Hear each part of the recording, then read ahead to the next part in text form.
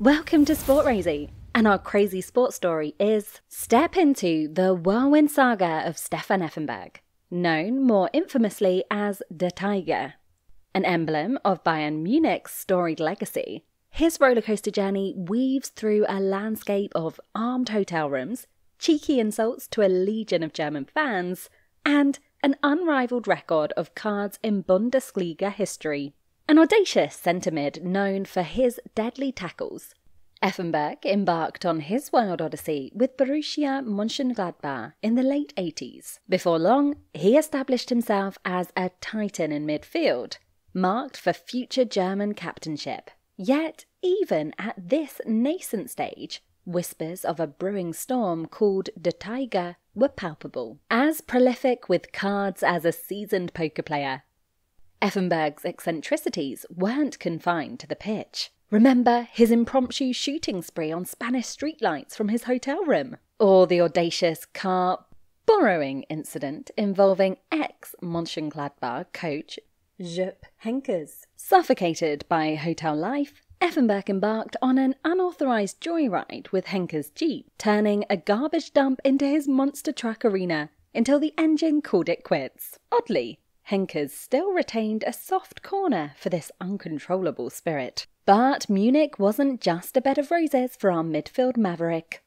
Amidst a particularly disappointing match, his fuse blew, challenging his manager to a fight during a halftime talk, causing pandemonium among his team. While his fiery stint fizzled out with the arrival of superstar Lothar Matthäus, Unwilling to share the limelight and stoking their feud, Effenberg even dubbed the latter a coward over his World Cup 1990 penalty debacle. This led to his exodus to Fiorentina. Blossoming in Florence, he was called up to the national squad for the 1994 World Cup, yet the Tiger bared his claws when he saluted German fans with a brazen middle finger during a substitution against South Korea. This audacious act, Der Stinkefinger, cost him four years in the international wilderness. Returning to Bayern after a spell at Mönchengladbach, he was soon embroiled in another scandal.